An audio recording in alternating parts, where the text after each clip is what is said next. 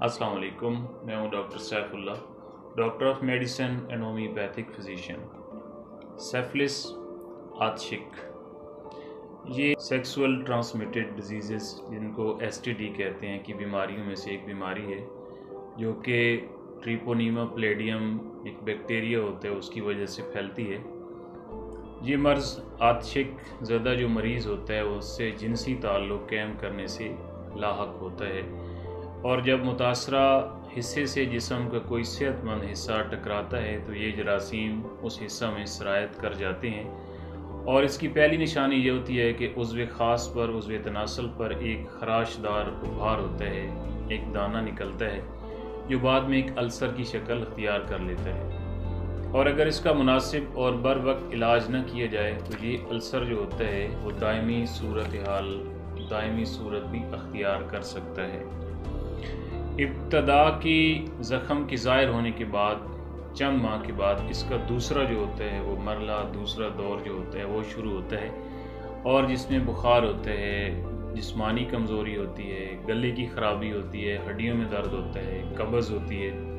سر کے بال جو ہوتے ہیں، وہ جھڑتے ہیں اور گرنا شروع ہو جاتے ہیں۔ اور عموماً یہ پیریڈ جو ہوتا ہے، وہ تین سال تک رہتا ہے۔ اور اس کے بعد اس کا تیسرا درجہ جو ہوتا ہے تھرڈ سٹیج جو ہوتی ہے، وہ شروع ہوتی ہے، جس کی وجہ سے جسم میں گلٹیاں بنتی ہیں۔ اس کے علاوہ جلد جو ہوتی ہے اور مسلز جو ہوتے ہیں، غذا کی نالی جس کو ایسوفیگس کہتے ہیں لنگز پھیپھڑے اور ہارٹ اور برین جو ہوتے ہیں، دل، دماغ اور جگر اس سے متاثر ہوتے ہیں۔ یہ مرض انتہائی خطرناک ہو سکتا ہے اگر اس کا بر وقت علاج نہ کیا جائے۔ ہومیوپیتھک ادویات سیفلس کے لیے آتشک کے لیے بہت زیادہ مؤثر اور مفید ہوتی ہیں۔ اگر خون بہت زیادہ خراب ہو گیا ہو اور جسم پر پھنسیاں نکل رہی ہوں اور بال جھڑ رہے ہوں اور گر رہے ہوں اور زخم بن رہے ہوں تو ان کے لیے ایکینیشیا یہ مدر ٹنچر میں استعمال کی جاتی ہے۔ اور سیفلس کا جو سیکنڈ سٹیج ہوتی ہے، دوسرا درجہ ہوتا ہے جب ہڈیوں میں درد ہوتا ہو اور ہڈیاں جو ہوتی ہیں وہ گلنا سڑنا شروع ہو جائیں تو ان کے لیے، اور رات کو خاص طور پر ہڈیوں کے اندر درد شدید ہوتا ہو تو ان کے لیے اورومیٹ یہ ٹو ہنڈریڈ پوٹینسی میں استعمال کی جاتی ہے۔ اور زخم سے بدبودار مواد اگر نکل رہا ہو اور اس کے علاوہ منہ میں تھوک کی بہت زیادہ زیادتی ہو تو ان کے لیے مرک سال، یہ ٹو ہنڈریڈ پوٹینسی میں استعمال کی جاتی ہے۔